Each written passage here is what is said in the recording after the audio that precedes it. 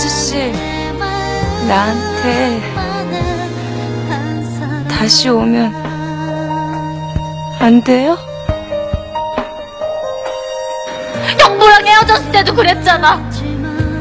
두 달 넘게 시체처럼 누워만 있고 밥도 안 먹고 잠도 안 자고 울기만 했잖아.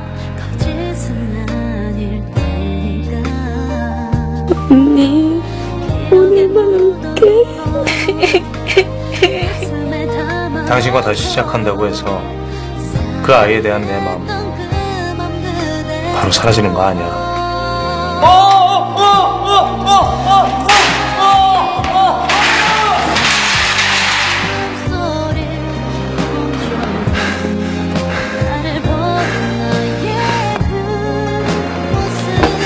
동주야!